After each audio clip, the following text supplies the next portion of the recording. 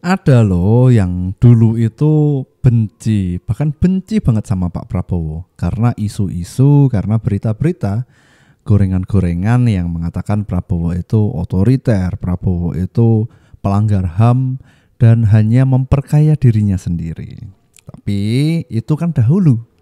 Lantas sekarang Pak Prabowo itu bagaimana dan kenapa mayoritas rakyat Indonesia itu sekarang mendukung Pak Prabowo?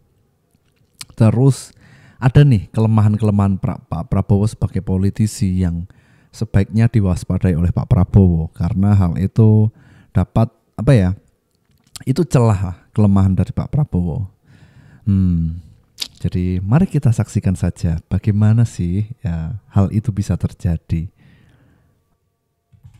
Dulu benci Prabowo, nggak pilih Prabowo, sekarang mulai luluh. Ada yang gini juga, ini alasan gue. Disclaimer ya, gue nggak dibayar sama sekali, gue coba kasih sudut pandang gue. Yang pertama, Prabowo ikhlas menjadi menterinya Pak Jokowi. Itu sesuatu yang sangat nggak mudah loh. Gue jujur kaget, wah kok dia mau ya? Even dunia pun juga kaget. Kok mau-maunya kalah terus jadi pembantunya yang menang? Lu yang dulunya diorbitin, sampai jadi rival, dan kalah lagi, terus akhirnya mau menjadi pembantu yang menang. Kalau lu nggak punya sifat yang benar-benar ikhlas dan ingin mengabdi untuk negara, udah pasti nggak akan diambil sih. Karena ini menurut gue ya, uang itu udah bukan suatu isu lagi sih untuk sekelas Prabowo. Ya. Yang kedua, fenomena Gibran. Jujur, gue emang kecewa dengan politik dinasti. Tapi coba deh dipikirin lagi. Gue yakin Gibran pun juga nolak pasti jadi wapres. Men, lu bakal dibully di Indonesia. Dia udah tahu itu pasti. Dia mungkin juga udah mohon-mohon nolak juga ke bapaknya. Coba deh, sekelas Gibran, ngapain jadi wapres? Ngapain masuk politik? Pusing coy. Uang udah bukan isu lagi sih buat dia. Gue yakin Pak Jokowi sangat terpaksa memajukan anaknya Gibran. Karena mungkin udah gak ada yang bisa dipercaya lagi untuk nerusin program-programnya Pak Jokowi.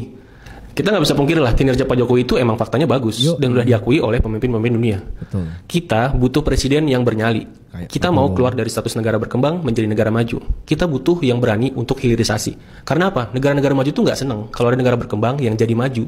Makanya kita butuh presiden yang bernyali, yang nggak bisa disetir siapa pun. Prabowo itu posisinya udah mentok di partai, udah paling atas. Jadi siapa lagi yang bisa setir dia? Apakah dengan ini gue jadi pilih Prabowo Gibran selama ada Jokowi? Gue iya. Nah, ini pandangan yang menarik ini. Em, apalagi em, kalau misalkan kita tahu globalisasi dan Prabowo sangat punya taring di kancah internasional. Eh, ya semoga nanti isu tentang ban serep itu menjadi terpatahkan di era Prabowo Gibran karena ada isu ada isu yang semoga benar bahwa Prabowo nanti akan fokus membangun uh, bilateral Indonesia dengan negara-negara superpower yang ada di um, dunia dan Mas Gibran, Mas Cawapres itu Mas Wapres ding. Mas Wapres itu mengurusi nasionalnya. Itu kan kolaborasi bagaimana saling melengkapi antara presiden dan wakil presidennya, bukan seperti isu tentang ban serep selama ini gitu. Jadi ini menarik sekali ke depannya jika Prabowo Gibran uh, memimpin Indonesia. Satu-satunya kekurangan Bapak Prabowo Subianto sebagai politisi, beliau itu terlalu polos, terlalu jujur dan terlalu tulus. Setiap kali beliau menyampaikan pidato atau terlibat dalam debat capres seperti kemarin, panggung politik bagi dia seolah menjadi panggung kejujuran. Karakter yang nyaris punah di dalam dunia politik masa kini. Bapak Prabowo tidak seperti politisi pada umumnya yang mahir menyusun narasi dan mengemas dirinya dalam lapisan-lapisan pencitraan politik. Dia adalah manusia terbuka yang tak mampu menyembunyikan esensi dirinya di balik Sebagai tirai manusia. politik. Bahkan dalam dunia di mana setiap gestur diatur dan setiap kata dihitung, Bapak Prabowo muncul sebagai pemberontak yang menolak untuk menyembunyikan sisi-sisi manusiawi yang membuatnya jauh dari kesan perfect politician. Betul. Kepribadian Bapak Prabowo ini Jujur. menggambarkan kepribadian dengan kualitas kejujuran yang otentik. Kepribadian beliau adalah contoh yang langka dari segala jenis kepribadian yang sulit untuk disalahartikan. Tidak ada kedok atau sandiwara, hanya ketulusan dan kejujuran yang mengalir begitu saja. Sementara politisi lain terjerat dalam jaring kesan palsu, Bapak Prabowo tetap utuh, menjadi dirinya sendiri meski resiko penilaian publik mengintainya. Ketidakmampuan Bapak Prabowo untuk memainkan peran dalam sandiwara politik Komunikasi menciptakan kontras yang mencolok di tengah panggung politik Indonesia. Bahkan kejujuran yang disajikan secara mentah-mentah dan tanpa redaksi dapat diartikan sebagai kelangkaan dalam dunia politik di mana kadang-kadang kebenaran bisa menjadi komoditas langka. Bapak Prabowo mungkin tidak mahir dalam seni pencitraan. Tetapi keaslian yang dia tampilkan dapat dianggap sebagai keberanian untuk memimpin dengan integritas. Sebagai negara dengan kompleksitas lapisan sosial dan politik, Indonesia membutuhkan pemimpin yang mampu memotret realitas apa adanya. Dalam hal ini, Bapak Prabowo bisa menjadi simbol keberanian untuk menjadi manusia sejati dalam arena yang penuh dengan strategi dan permainan diplomasi. Mungkin dalam ketidakmampuannya untuk berbohong, kita dapat menemukan harapan bahwa kejujuran masih memiliki tempat dalam kepemimpinan, bahkan di tengah lautan politik yang kompleks. Itu pendapat saya. Kalau ada pendapat lain, kita diskusi di kolom komentar. Thank Wow, saya sangat setuju ini. Pak Prabowo itu kemarin kayak nggak basa-basi gitu. Ya baik, buruk, jelek, bagus, diungkapkan semuanya. Em, itulah the real politician yang dibutuhkan Indonesia saat ini. Makanya beliau menang karena rakyat sudah tahu mana yang terbaik untuk Indonesia, mana yang terbaik untuk memimpin mereka, yaitu saya dan kalian semuanya. Banyak orang itu yang menjelek-jelekan Pak Prabowo itu melihat masa lalu. Memori mereka berhenti di tahun 98. Hmm. Jadi kalau hari ini Pak Prabowo di loh loh kok pincang? Loh kok presiden cap kaki tiga? Karena pakai Tonggat. pakai tongkat. Loh, ini kenapa main main fisik gitu? Yang dia pincangnya bukan juga bukan dosa dia. Dia pincang kan gara-gara tugas dia bela negara. Bela negara. Itu hipsnya cedera. Saya dapat cerita hipsnya cedera waktu terjun payung. Nah, orang yang mengalami resiko-resiko seperti itu ketika melakukan tugas bela negara, diajak-ejek. Anda sudah melakukan apa buat negara? Jadi jangan dibikin malu dia karena fisiknya, padahal dia menderita fisik seperti itu karena tugas bela bela negara. Jangan sampai serendah itu politiknya. Jangan serendah itu politiknya karena Pak Prabowo eh, cedera fisik hingga pincang seperti itu karena bela negara, membela bangsa kita ini. Lantas apa yang sudah kita perbuat untuk rakyat Indonesia, bangsa negara? Merinding. Pak Prabowo, Pak Prabowo. Sehat selalu Bapak, semoga lancar dalam membangun Indonesia ke depannya. Saya ingin melihat sebelum saya meninggal Indonesia menjadi negara bermartabat, negara terhormat. Saya ingin lihat tidak ada kemiskinan di Republik Indonesia.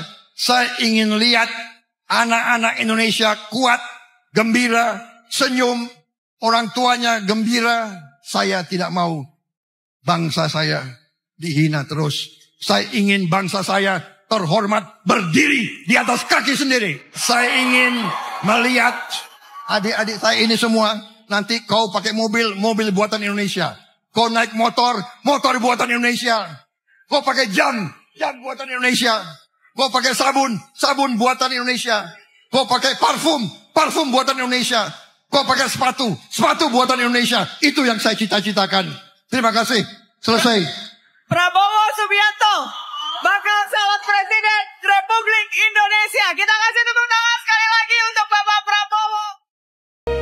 Cita-cita yang mulia. Ya soal isu keuangan sudah sudah bukan isu bagi seorang Prabowo. Beliau sudah sangat kaya raya. Sudah sangat sangat sangat super kaya raya untuk um, hidupnya sendiri.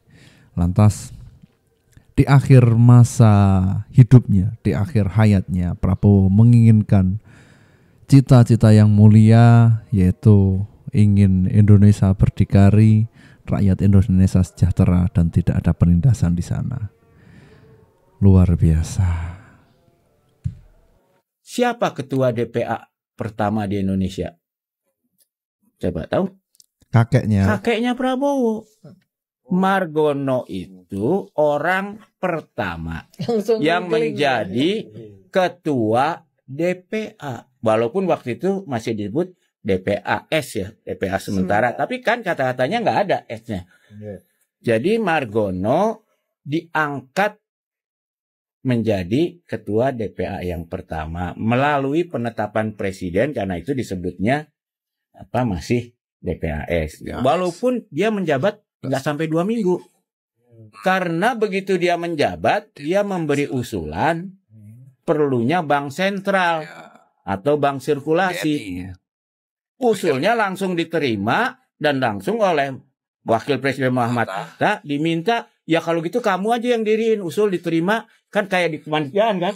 Kalau kita usul diterima Ya, ya, kamu lu yang yang kerjain kerjain gitu kan gitu. Ya, Di sih. partai sampai sekarang kayak Ya, gitu mas. sehingga kemudian di partai. Nah, gitu. sehingga kemudian kakeknya Prabowo ini Pak Margono Jorismo mendirikan Bank Sentral. bank sentral yaitu waktu itu BNI, yaitu dari tadinya The Java Bank, bank partikulir yang kemudian diambil alih dijadikan BNI pada saat waktu itu berfungsi sebagai seperti BI sekarang Bank Sentral ya. yang sentral. Ini gue bacain ya. Dan jangan salah, kenapa Margono itu diangkat menjadi Gubernur Sentral. DPA Dari BPA. karena dia itu juga anggota BPUPKI. Iya.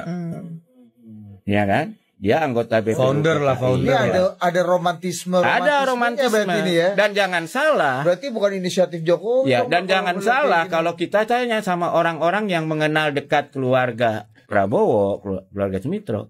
Prabowo itu lebih dekat dengan Kakeknya. Margono ketimbang Bapaknya. ayahnya gitu. Jadi buat nih jadi siapa pun yang mendesain ini tahu ini pasti diterima oleh Prabowo. Kepada Presiden terpilih Bapak Prabowo Subianto, Merah Gibran. Kebodohan aja sih Pak, demokrasi mundur begitu. 600 triliun ribu alat tutup pabrik impor ilegal makan 12 ribu Hmm. Saya sedih, Pak. Setiap dengar teman-teman saya mau keluar dari negara Indonesia, tujuannya buat cari hidup yang lebih layak. Dan dua video terakhir sebenarnya saya udah mengkritik yang menurut saya salah dari negara ini. Sabda Pandita Ratu Tan Kena Walawali. Pemilu sudah usai, demokrasi sudah dilaksanakan, dan Bapak yang terpilih, segenap hati dan kepercayaan saya, Bapaklah yang punya pertanggungjawaban paling luar biasa besar untuk memajukan negara ini. Saya cuma warga biasa, Pak. Saya orang bodoh. Tapi saya punya rasa kecintaan yang luar biasa dengan Indonesia. Mungkin beberapa opini atau cerita yang saya tuangkan di video ini bisa menjadi konsiderasi untuk kemajuan negara ini. Yang saya banyak dengar tentang Pak Prabowo, Pak Prabowo ini punya tangan besi dan rasa cinta nasionalisme yang luar biasa besar. Saya yakin kok Pak Prabowo ini nggak bisa disetir sama pihak Ya. lain. Pak Prabowo percaya dengan sistem meritokrasi. Nggak Tidak. bakal tuh nitip-nitip jabatan atau terkena dugaan kolusi atau nepotisme. Dan saya harus yakin banget Pak, semua dan segala yang mensupport Bapak di kontestasi pemilu kemarin tetap nggak ada main politik balas budi yang ujung-ujungnya mungkin bisa memasukkan orang-orang yang nggak kompeten ke dalam pemerintahan menteri atau kabinet. Saya percaya sih Pak, lebih tepatnya saya harus percaya karena Bapak yang terpilih, Bapak yang akan memimpin Indonesia selama lima tahun ke depan ke masa kejayaannya. Video ini akan lebih banyak berisi harapan dan aspirasi saya untuk Indonesia. Mungkin saya bakal pin video ini di channel saya selama lima tahun ke depan dan ini opini saya. Ya, itu harapan dari Raymond Chen. Itu em, videonya sudah saya tonton secara full, secara lengkap di YouTube-nya. Jadi teman-teman silahkan saksikan videonya. Harapan em, surat terbuka dari Raymond Chen, yaitu harapan untuk Presiden Prabowo, Presiden yang terpilih untuk lima tahun ke depan.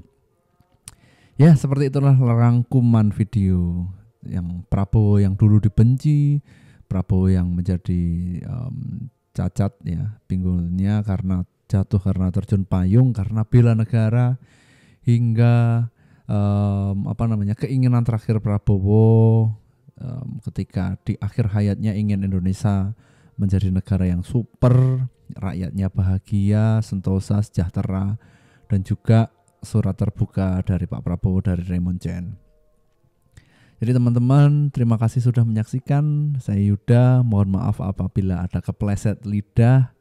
Ehm, saya Yuda, terima kasih.